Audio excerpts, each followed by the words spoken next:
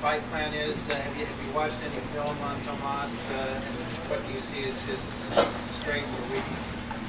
Yes, uh, I've watched uh, a few fights on uh, Thomas uh, Adamek. Uh, my friend Sean Scully, he's a famous painter in New York, and he actually sent me a whole collection of his DVDs, all his fights.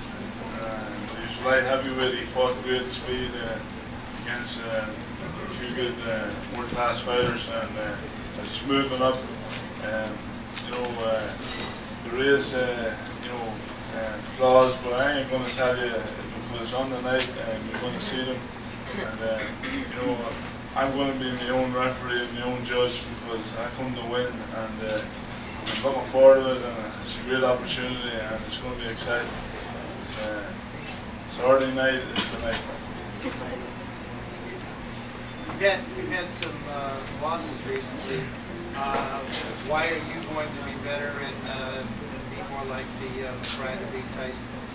Well, um, that's a good answer or a good question because when, when I fought Tyson, you know, as, a kid growing up, I idolized uh, Mike Tyson and, uh, you know, uh, he's uh, such a great fighter and a great power and, uh, you know, just to actually shake the man's hand, you know, it was, uh, it was a, a dream come true and, uh, you know, uh, and after it as well, I shook uh, Muhammad Ali's hand because his daughter was there and I said, this is the greatest night of my life far as boxing concerned so far because uh, I'm after beating a legend, uh, meeting a legend, beating a legend, now meeting the greatest all time. And Muhammad Ali threw a few punches at me and whoa, he says, uh, I'm the greatest, you're the latest. So then after that, uh, you know, fights were, um, you know, I to fight for world title, you know, against Johnny Ruiz, Lamon Brewster, the big giant over there, Valuev, and you know, none of them ever materialized, and, uh, and you know, the kind of fighter I am, you know, I never really got that hunger, you know, and uh, you know, uh, I just, uh, what you call a lovely wife and two beautiful kids, and, uh, you know, and then this call came, you know, and uh, this is like, um, you know, like the father, the priest, you know, and uh, the, it's like, uh, uh, you know, they give me a, a second opportunity, and it's like, you know, the hunger is back, you know, because as a kid at nine years old, I wanted to be the first born Irish heavyweight champion in the world, and uh, Thomas Adamek is in the way, and uh, I'm going to do whatever it takes to win. And uh, talk about strategies, it doesn't matter when I'm in the ring, you know, um, to say uh, Thomas Adamek's fast, you know, but he has to hit me eventually, and when he hits me, I've got a longer reach, and uh, I know he's not too far away then, you know. Thanks. Anybody else? Yes, Kate?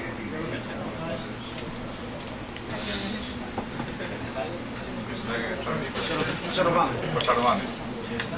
Nie byłeś kiedyś czerwony. Katolik. Don't believe in witchcraft. I was in confession a couple of days ago.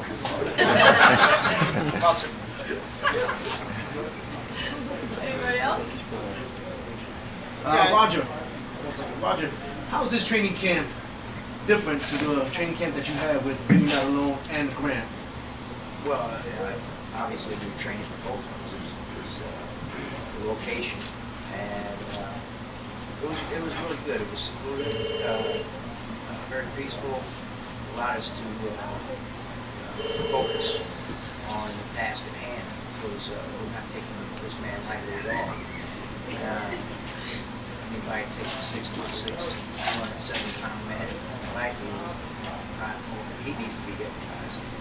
So, you know, it gave us, it gave us a good opportunity to work on a lot of things and uh, uh, saw a lot of improvement. And hopefully you'll see that in the next Saturday night.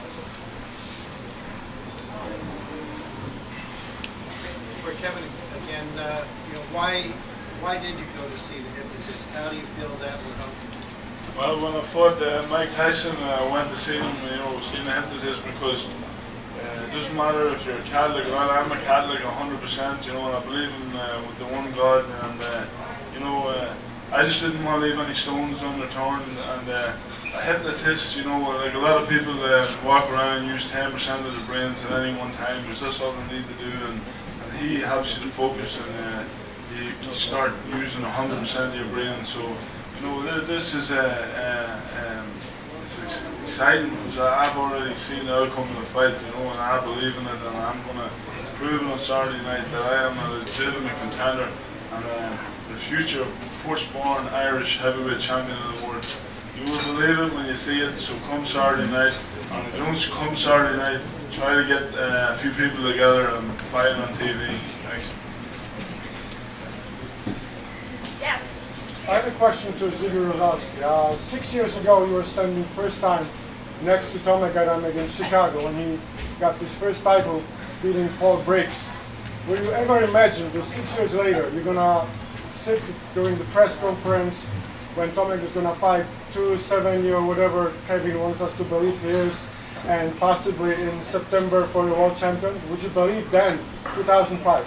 No, I never believed it because you know Tomas uh, in Poland against uh, low competition and we came to America and it all happened in America. So you know I'm very happy that I worked, I with Golota. I mean we were very famous, but we never got to win any titles. Tomas, we won two titles, so you know God sent me him. So because I worked very hard with Gal- Golota, Saint Ducati, you know we never got, we never won a title, but Tomas. You know, we were so lucky we won two titles. Now we're gonna win the third one.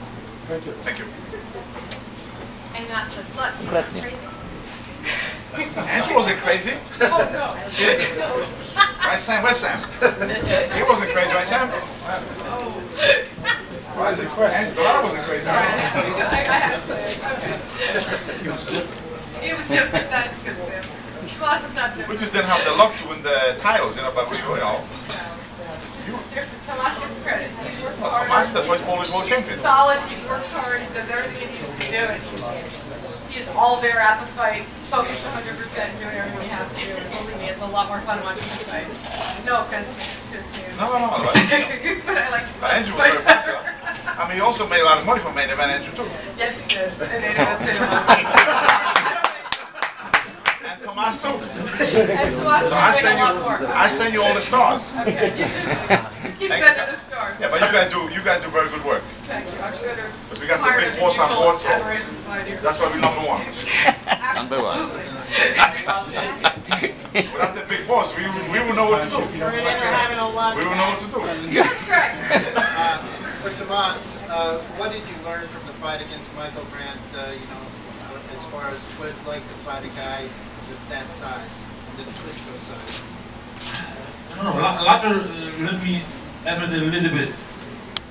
I'm changing my style, you know, I'm more flexible, uh, keeping, uh, keeping knees, you know, uh, I move uh, left side, no right like in Europe.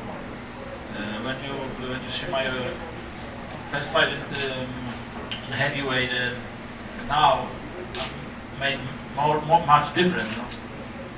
But you know, I'm every day better fighter, you know. I'm go to title fight, you know. I make everything the winning fights in Saturday. If uh, for friend show, might be be third category champion. I'm training very hard. I'm respecting everybody.